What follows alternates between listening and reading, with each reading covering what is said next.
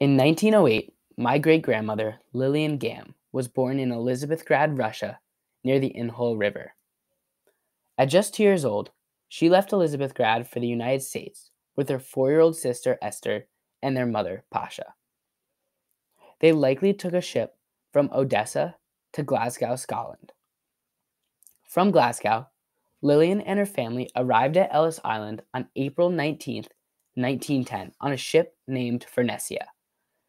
My relatives traveled in the fourth steerage located at the bottom of the ship for the poorest people, which was certainly crowded and uncomfortable for the long journey.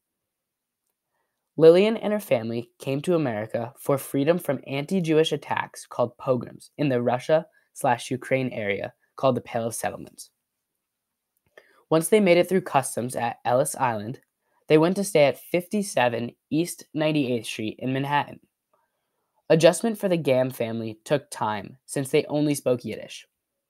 They spent some time in Manhattan, but quickly moved to live with relatives in New Haven, Connecticut, and then moved back to Manhattan once they felt a little more comfortable on their own in America. Lillian cared about her education and loved to learn. She even won several awards for her strong academics.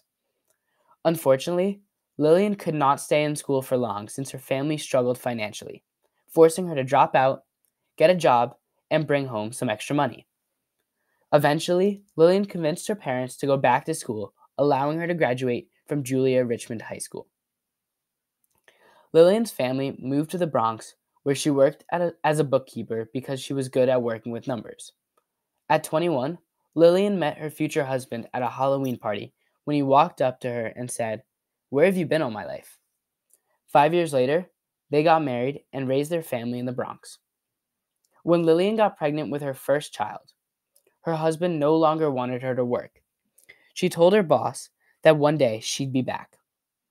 30 years later, after her husband passed away, Lillian called her boss up, said she was coming back to work, and worked for another 20 years of her life. As an immigrant who came to this country with very little money and knowledge of American culture, Lillian and her family persevered. She worked hard and feared no one. If Lillian's parents never decided to migrate to America, Lillian would have had a very harsh life being a Jewish woman in Russia. Thankfully, America allowed her to pursue her dreams, and though it was not perfect or an easy transition, the United States gave her a chance to live the way she wanted. Thank you.